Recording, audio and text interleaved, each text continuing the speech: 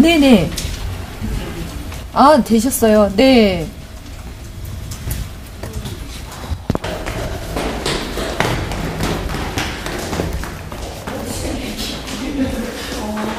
스튜디오는 없는 거지, 지금 비어 있는 거지. 가볼까요? 스튜디오에 계신가?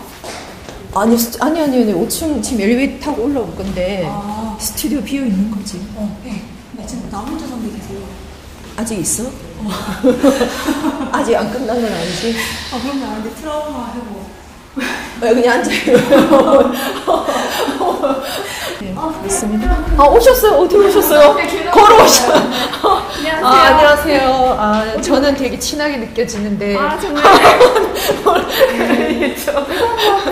어, 아니, 뭔가 아, 진짜 엘리베이터에 너무 장애인, 건강하시군요. 장애인 전용 이렇게 써 있어서 못 하겠더라고요. 아, 그런 게 있었구나. 오시면 된다. 왜 트라우마 해보게. 안녕하세요. 혹시 이런 거는 구경 못 하셨을 것 같아가지고 일부러 네, 일부러 일부러 보통 여기 이런 데선 잘안 만나는데? 예, 예. 아이고. 근데 이- 이건 좀 그렇지 않아? 무슨 반짝이라는 게 뭐야? 이거 왜한 거야? 아 일부러 해놓은 거야? 안녕하세요. 오늘 평상시와 다르게 저와 뭔가 조금 다른 메이크업이죠. 다른 분위기고 신청해주신 수지 메이크업을 하게 됐는데요. 입술이 진짜 대박인 것 같아요. 유튜브에서 돈을 그렇게 번다더라 이 얘기를 들었어요. 그러니까 그냥 어 그래 이런 생각 하잖아요. 로또가 누가 당첨이 됐대? 이러면은 어 그래? 하면서 로또를 하나 사듯이 그냥 화장품이 제일 가깝게 빨리 찍을 수 있을 것 같아가지고 좀 행동파? 전형적으로 좀 무식이 용감한? 연예인 얼굴도 아니고 화장도 잘했던 것도 아닌데 이만하면은 저는 뭐랄까 남들이 보기에 웃음일지 몰라도 아, 이만하면 잘했다. 막 이런 생각도 좀 하고 원래 뷰티 좋아하시는 분들 레드립 굉장히 즐기거든요. 근데 저는 이걸 바르면서도 바를까 말까 고민해요. 그러면 이제 영상에도 똑같이 얘기해요. 여러분들도 저처럼 레드립을 바를까 말까 고민하고 한번 발라보고 너무 빨개서 집에서 지우고 나가고 그러지 않느냐 뭐 이런 식으로 영상에서 똑같이 말하고 그러면은 생각보다 공감해 주시는 분들도 많고 제가 팁이다 하나 딱 말씀해 드리고 싶은 거는 해가 가장 좋을 시간에 일어나서 찍어라.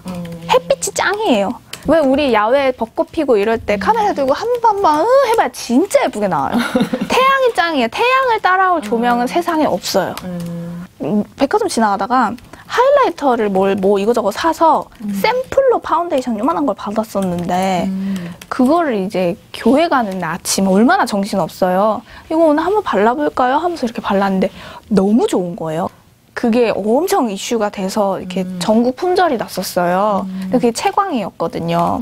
햇빛 앞에서 해가 이쁜 시간을 활용하면은 웬만한 작은 미러리스 카메라든 DSLR이든 괜찮다.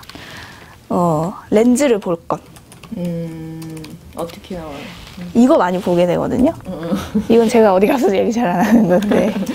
왜냐면 내 얼굴이 나오는 걸 확인을 해야 되니까. 근데 저는 렌즈, 여기 렌즈 안에 사람들이 있다고 꼭 생각을 해요. 음, 그리고 걸어 다니면서 찍잖아요. 부끄러워하지 말 것. 이게 진짜 커요. 음. 친구들이랑 같이 걸어가는데 저 혼자 카메라 막 주섬주섬 꺼내가지고 아 저는 지금 스타벅스에 가고 있어요. 웬 또라이예요. 이거 익숙해져야 돼요. 그냥 아 난 또라이다. 화면에는 이상하게 안 나와요. 그런 주변이 부끄러워서 카메라에 이렇게 눈치 보면서 하면 화면에 이상하게 나와요. 그러니까 집에 있다고 해서 카- 영상 찍을 게 없다라고 생각할 게 아니라 진짜 유튜브 통틀어서 제일 중요한 거는 꾸준히 자주 영상을 올리는 게 제일 중요해요. 제일. 제일 힘든 것 같아요. 그게 최고예요. 정확한 시간에. 그냥 녹화되고 있는 건가요? 뭐 짧게 하도록 하겠습니다.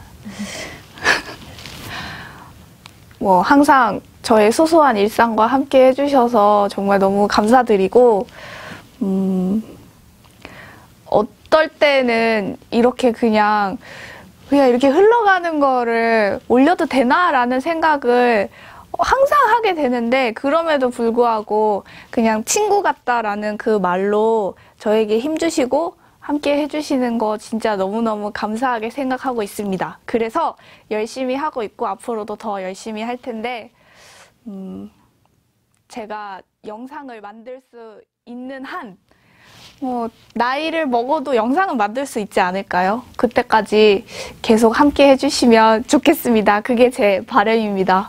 여러분, 감사합니다.